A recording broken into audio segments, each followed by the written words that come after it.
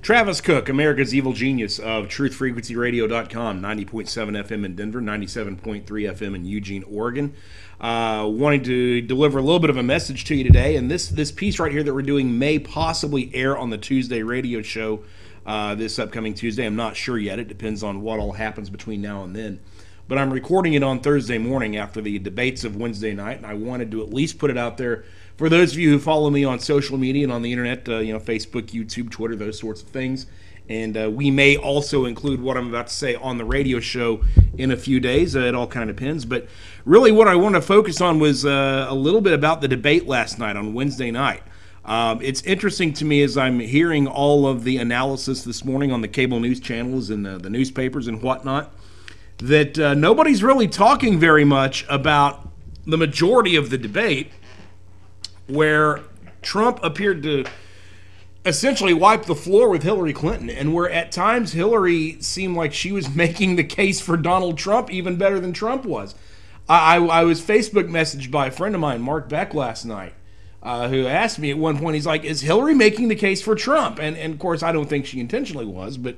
Uh, by the way she was going about, she was certainly making Trump sound like the more reasonable alternative. I mean, you had Hillary out there trying to make partial birth abortion sound sympathetic of all things. And I guarantee you, when she did that, most of us in the Midwest and the South were just aghast when we heard that. That that that's incomprehensible. And here she is trying to put a, a, a positive spin, a positive face on partial birth abortion. Oh my God. Uh, she was out there trying to maintain that she's in favor of the, of the Second Amendment when also being in favor of so called reasonable gun regulations. Uh, I'm sorry, those are, are opposite statements. That's an oxymoron. You cannot be in favor of both of those. You know, and, and, it, and it is odd that uh, Hillary seems to, to think that uh, toddlers need to be protected from guns, but not from partial birth abortion. That seems kind of odd. Also, seems odd that, uh, more importantly and more more critically, that the families of those who have toddlers, those single mothers out there, those young couples, young families, who need to protect themselves and protect that toddler uh, from the criminals in the world, the evildoers in the world, that they should have more restrictions placed upon them in, in obtaining a firearm. That that should happen, but hey, partial birth abortion, that's all good.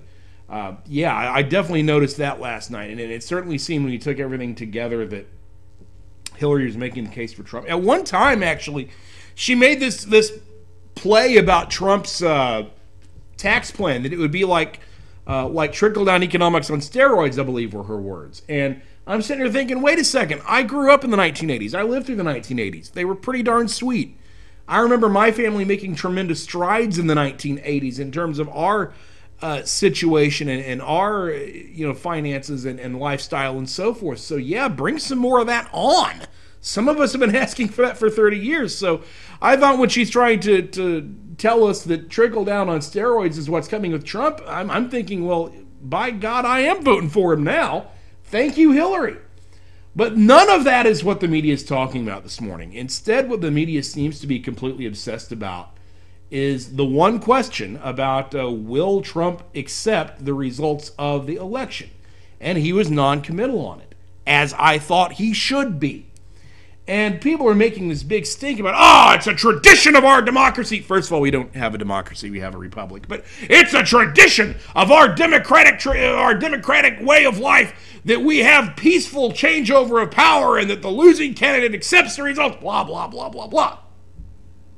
That's what everybody, including Fox News, who's become a network that's kind of traitorous to the conservative cause. It seems like as of late uh, that's the uh, that's the mentality that most of those networks are are bringing to the table here uh, regarding that question, and I don't think that's right at all. I, I, I look back at some of the uh, examples they've used in the past. They've uh, tried to bring up the examples of Al Gore in 2000 and Richard Nixon in 1960. Well, first of all, Al Gore in 2000 was anything but conciliatory. I mean, come on.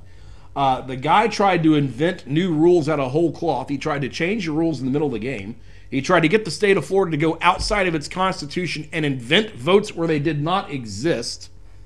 Yeah, that's anything but conciliatory. And by the way, if you if you doubt me or if you want some more information on it or you, it's been so long ago you don't remember it, go check out Mark Levin's great book Men in Black. They have a whole chapter where they go painstakingly, step by step, through everything that happened in the process and all of the chicanery that Al Gore tried to pull off in 2000. So, no, Al Gore was anything uh, but conciliatory. He and his supporters have not been conciliatory since that time. You still hear Democrats out there saying selected, not elected, even though that was not the case. You even saw Hillary Clinton out there at a fundraiser in 2002, way back then, a couple of years after the, the election, where she advised people not to accept the results of the 2000 election. So uh, it's not exactly as though the potential of Donald Trump not accepting the results of the upcoming election would be out of uh, standard or, or it would be without precedent. It certainly would be.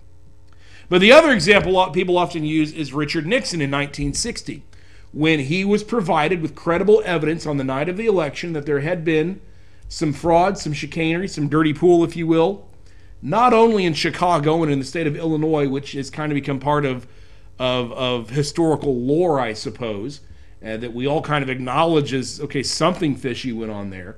But even in other states, such as Texas, where Lyndon Johnson was involved, there was actually a very good case that uh, Daddy Kennedy had stolen the election, and Nixon chose not to pursue it. His reasoning being that, uh, well, we're in the middle of a Cold War, we need to have a peaceful transition, we, we, we can't afford this, we can't afford to be in a situation where there's this uh, fight over power when we're in such a critical. Uh, critical state in the world, and he bowed out. He stood down. And we have been told over the last 24 to 48 hours since the debate that that was a great example. Probably the only time I've heard American journalists uh, praise Richard Nixon for anything during my lifetime. But suddenly, they're all fans of Richard Nixon this morning. And we're told that's the way it should have gone, that it's the way it should go. Well, I have a different take on that because let's face it, for whatever we think of someone being magnanimous or whatever we might think of somebody uh, being gracious in defeat or whatever, there are real life implications for these decisions. There are things that happen as a result down the line that are very important. And let us think back to 1960. What might have happened? How might things have been different if Richard Nixon had not gracefully bowed out? If Richard Nixon had fought it? And if possibly he would have ended up becoming the president? True, it would have divided the American people, but the American people were already divided at that time. This, this idea that John F. Kennedy magically healed America and brought us all together is complete poppycock and hogwash to anyone who's ever actually studied history. I know that's the mythology that's been put forth, but that's not the case. America was very divided over Kennedy, and that only that only expanded during his presidency to the point that by the time he was killed, there was a great divide in America, and that would be exacerbated as the 1960s went on. Uh, so that is a myth. We were divided anyway. But think of what a Nixon presidency in 1960 might have done, and it's all speculation. I understand that. But you look at you look at the decade of the 1960s and, and how destructive that I've always argued they were.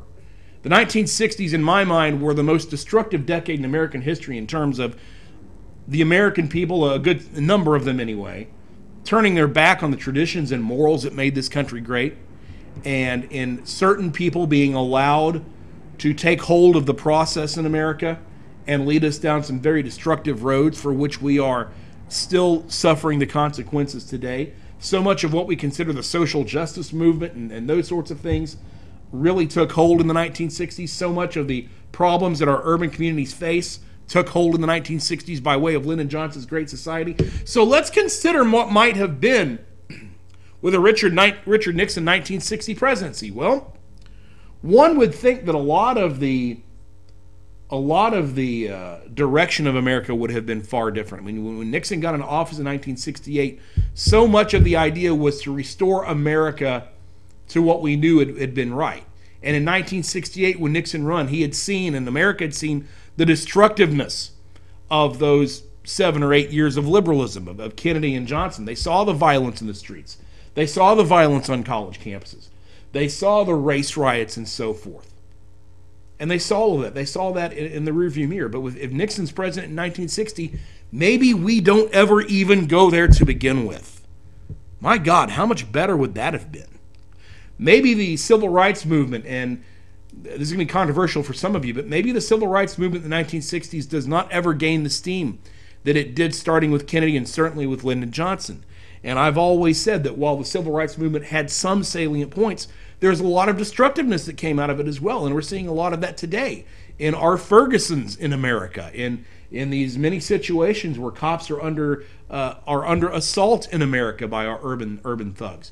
Uh, a lot of that really takes its place back to the civil rights movement of the 60s.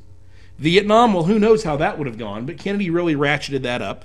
Nixon might have too. We don't know. Nixon was always one to to use whatever he could to, to get what he wanted in terms of, of foreign policy. So I don't know what would have happened with Vietnam with Nixon. But in terms of American culture on the forefront, we I, I'm confident to say that with the Richard Nixon presidency in 1960, we would not have strayed as far away from our core values as we did in the 1960s. We would not have become as accepting and tolerant of dangerous and abhorrent behaviors and ideas in the 1960s as we did. Maybe some of the things that happen on our college campuses and continue to persist to this day would never have gotten started in the 1960s. It's all speculation, of course. But as I look at it, and I look at how the 1960s turned out, through the benefit of hindsight, if you will, I really wish Richard Nixon would have fought it. And I know it's it, it's it's probably unfair to lay all of this at the feet of John F. Kennedy, and, and, and, that's probably true. He wasn't responsible for all of it, but he certainly was responsible for getting America started in that direction. And many people beyond him uh, followed through on that and expanded that even through the 1960s and even today. One could say Hillary Clinton's trying to do it now. Barack Obama did it during the last eight years. So, uh, yeah, if that could have been nipped in the bud, if that change in liberalism, if that onslaught of liberalism in the 1960s could have been nipped in the bud, I'd say we'd all be better off today. So, yeah, Nixon should have fought. Nixon shouldn't have accepted those results because we see today, we see the repercussions of it. And so I think going forward, what would be the repercussions of a Hillary Clinton presidency? Well, you heard a lot of it during the debate an assault on our gun rights, more killing of babies, a situation in which she doesn't even recognize, it seems, the danger of, of militant Islam and uh, Islamic terrorism, but suddenly thinks that Russia is a bigger threat to us than they are. Are you kidding? Yeah, that's what's coming, folks. An era in which our corporations are wealthy, our job creators are taxed to the point that they don't invest anymore. That's what's coming. So, yeah, given those long term repercussions, I can't speak for Donald Trump, but I darn sure will not accept the results of this election if Hillary wins by hook or by crook. And by what we've seen out of WikiLeaks and some of the evidence going around, the likelihood is far more by crook than uh, by hook. So, no, I'm not going to accept it. And I have said all along, and I've been saying it for over a year on my radio show, that if Hillary Clinton wins this election somehow, that the time has come for secession. Because America will no longer be America under 12 years of Barack Obama and Hillary Clinton. Yes, there will be a landmass called the United States of America, but it will not be America in the principles, in the morals, in the founding and guiding pillars that we've based ourselves off off of for over 200 years. It'll be a different country entirely, and one that I don't want to be a part of. So I know there's talk out there of, of possible violence and uh, possible overthrow of the government and those sorts of things if Hillary wins the election. I'm not willing to take those off the table, but I think the best alternative is secession to avoid a lot of that violence. And so that some of these states, some of these good states that have never voted for any of this mess over the years, some of the states in the South and maybe the Midwest, maybe we go our own way. Maybe we seek our own independence and maybe we leave, uh, we leave those crazy liberals like Hillary Clinton to their own devices in the North and the West and let them have at it, you know? And we go our own way and we do things the right way. That's what I'm advocating uh, in the case of Hillary Clinton election. So, no, I'm certainly not going to accept a Hillary Clinton win. And Donald Trump, I don't think he should either, particularly in the likely event that such a win will come about by way of nefarious means, by way of voter fraud. I mean, look at the people that Democrats are always trying to get election rights expanded to. They always want expanded election rights to young people who don't know any better, to illegal aliens who aren't in tune with our culture and who aren't uh, here to assimilate, that tells you everything you need to know about the direction that Democrats want to take this country. They don't want you and I making the decisions in this country. They want young people, they want criminals, they want illegal aliens, they want people with backgrounds other than American to form the direction of this nation. That tells you all you need to know. And in closing, I would say this in a more general sense. You know, on the general subject of voting, we as a nation have, over 150 years, we've really gone the route of expanding the voting rolls, of trying to do different things to expand the right to vote, you know, to women or to blacks or to whomever, or to, to remove obstacles from voting, removing things like poll taxes and literacy tests and things like that. And, and we've largely done that over over 150 years. But sometimes I wonder if that has had a good end result or not.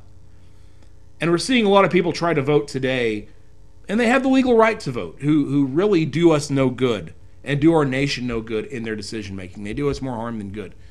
Maybe, just maybe, it's time to start looking at the next 150 years and looking at a way to kind of reduce the total number of people who vote.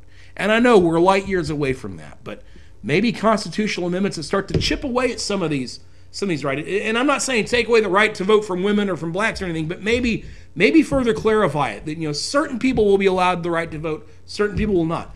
My personal viewpoint has always been the best way to handle it would be to only allow the right to vote to law to uh, to uh, American citizens who are landowners over the age of 30. I think that would be the best possible uh, result for our voting rights. And I know we're a long way from that. It's going to take a constitutional amendment or several constitutional amendments to do it.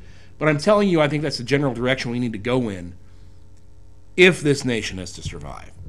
So, folks, that's my thoughts on on this uh, controversy, as, as it were. Travis Cook, America's Evil Genius, TruthFrequencyRadio.com, and we'll see you when we see you.